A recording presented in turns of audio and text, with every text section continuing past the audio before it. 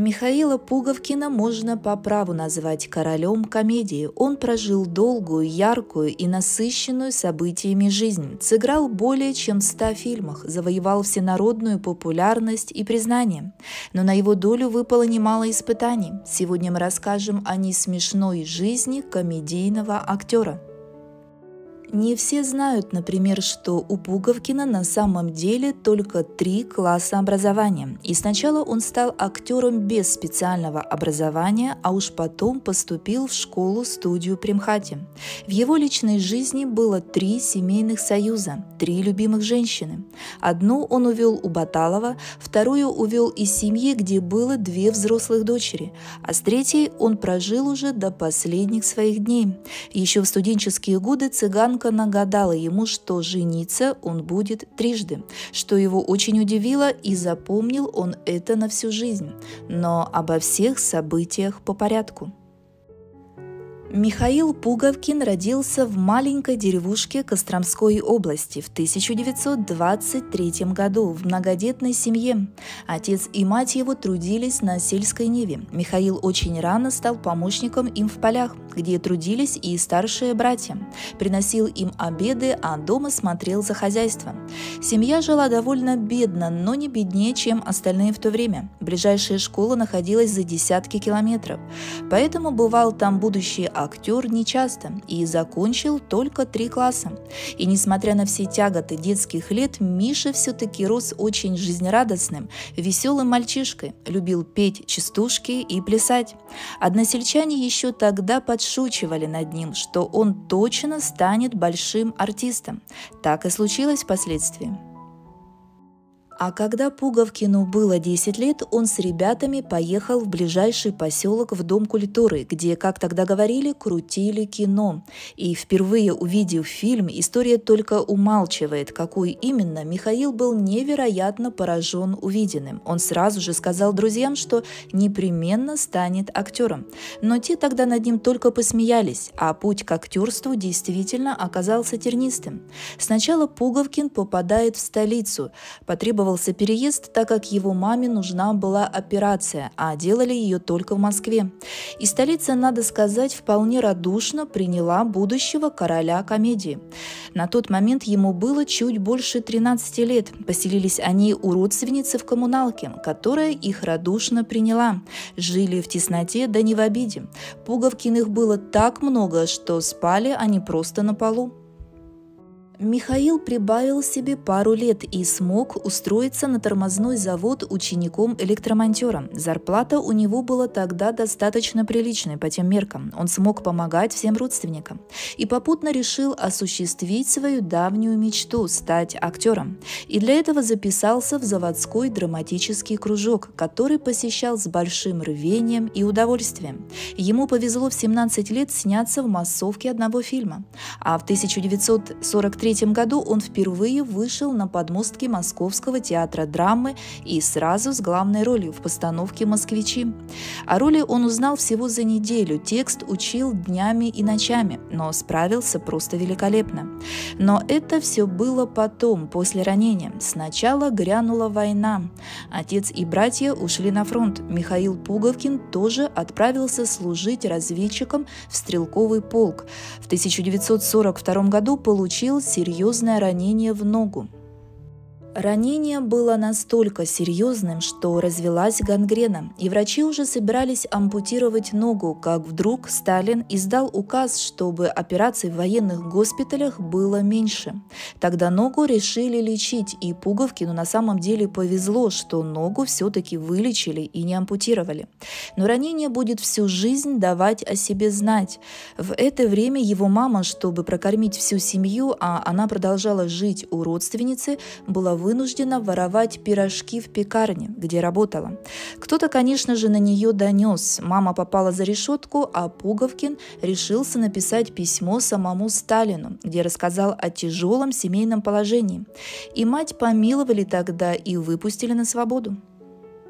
В Великую Отечественную войну погибли все братья и отец артиста. Тяжелое время печально сказалось на всей семье. В 43-м Пуговкин решился получить высшее образование и нацелился на МХАТ со своими тремя классами образования. Приемную комиссию он сразил на повал. Они прониклись к нему невероятной любовью. А в графе о среднем образовании написали «Аттестат утерян во время войны». Его зачислили, но уже скоро и сам Пугов Пуговкин осознал, что ему попросту не хватает знаний.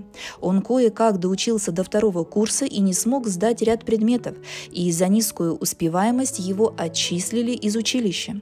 Но следом пришла повестка о прохождении воинской службы. Его направили в Горьковское танковое училище. И там он тоже смог себя реализовать, стал руководителем кружка самодеятельности при училище. А в победном 45-м его исключили, чтобы он смог вернуться вернуться в школу-студию при МХАТе и продолжить учебу.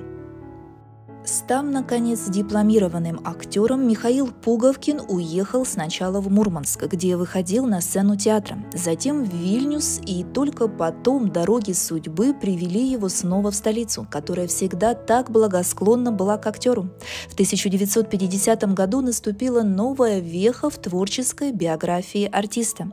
Первой значимой ролью считается образ матроса Захара Перышкина из комедии «Солдат Иван Бровкин», в кадре актер смотрелся настолько уверенно, что казалось это уже энная по счету его роль. И тогда, надо сказать по секрету, съемки были непростыми.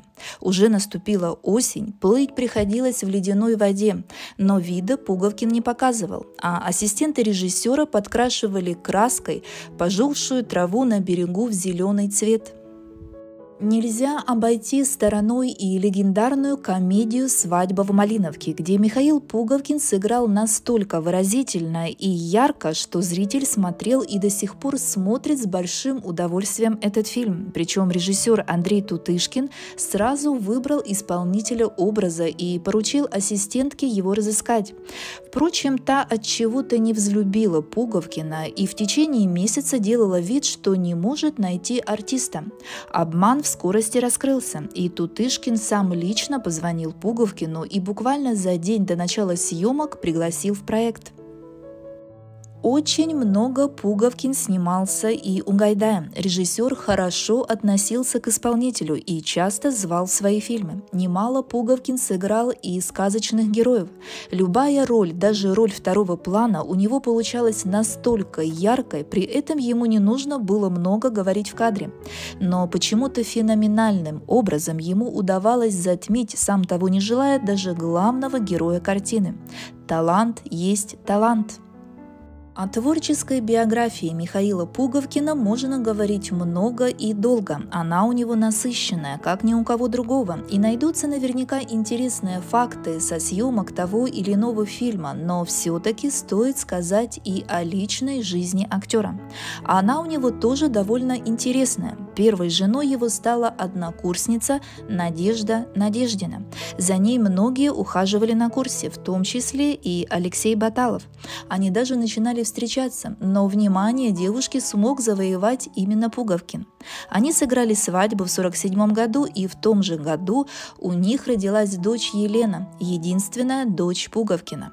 Вместе супруги прожили 12 лет, но в итоге расстались, что стало причиной в источниках ничего не значится по этому поводу. Вероятно, могли отношения себя попросту изжить, вот и все. В 70 году дочь Елена подарила внука знаменитому отцу, которого нарекли в честь деда Михаилом. Холостым Пуговкин оставался недолго. Второй супругой актера стала эстрадная певица Александра Лукьянченко. Она была не свободна, но обаяние Пуговкина сделало свое дело. Артистка оставила семью и даже карьеру. Ее муж был у нее аккомпаниатором, причем ее уже взрослая на тот момент дочери не поняли мать. Но в итоге супруги прожили целых 30 лет в мире, любви и согласии. До момента, когда в 91 1991 году Пуговкин не овдовел. Он очень тяжело переживал уход супруги, сам находился уже в довольно преклонном возрасте. 30 лет – это все-таки большой этап жизни, поэтому актер не представлял своего будущего в одиночестве. Тогда он решается на переезд в Крым, в Ялту. Этот город запал ему в душу и сердце еще в молодые годы. Таким образом, актер решил отвлечь себя от плохих мыслей, с которыми он ложился и просыпался. В том же 91 году как-то так сложилось, что судьба свела знаменитого актера с Ириной Лавровой. Вернее, они давно знали друг о друге, она была администратором Союз концерта и всегда предлагала сотрудничать Пуговкину, но тот не мог изменить обществу знания, где билеты стоили по 80 копеек, в то время как у Ирины по 5 или 10 рублей. Так постепенно между ними стал завязываться любовный роман. Пуговкин словно бы ожил, он снова начал активно работать и много сниматься. Вот так и сбылись предсказания цыганки, в которое когда-то не желал верить артист. Пара обосновалась в Ялте, и в 1997 году Пуговкин получает украинское гражданство, но потом они все-таки перебираются в Москву из-за состояния здоровья артиста. Вместе супруги прожили до конца дней Михаила Пуговкина. В последние годы актер тяжело болел. У него был сахарный диабет, астма и стенокардия. Вскоре после 85-летнего юбилея актер перенес еще и инфаркт, после чего отказался лечь в больницу. Состояние его здоровья стремительно ухудшалось. Возраст все-таки накладывал свой отпечаток. И в 2008 году сердце Михаила Пуговкина остановилось. Вскоре после его смерти начались разбирательства между наследниками. Оказалось, что тогдашний губернатор Московской области за заслуги перед Отечеством подарил актеру участок 15 соток в элитном дачном поселке. А его жена продала, и четыре квартиры актера были оформлены на жену Пуговкина. Это не понравилось единственной дочери Елене и внуку. Но, увы, в источниках нет информации, насколько близкие или наоборот не близкие были отношения у них с отцом и дедом на протяжении всей жизни. Поэтому судить довольно сложно. А единственный внук, к слову говоря, является полной копией Михаила Пуговкина. Внешне носит имя в честь деда и даже похож с ним голосом, что вообще редкость. Причем кое-кто даже высказались, что внук вполне бы мог заменить деда в кино. И далеко не все бы поклонники смогли увидеть разницу. Но внук Михаил решил не идти стопами деда. Всю свою жизнь он занимается фотографией и стал корреспондентом СМИ. Зрители привыкли видеть Михаила Пуговкина на экране неунывающим и задорным, хотя часто подобные роли давались ему ох как нелегко. Например, в фильме «Свадьба в Малиновке» ему нужно было лихо отплясывать. Танец, названный в комедии «В ту степь», на экране длился всего минуту, а разучивался полтора месяца.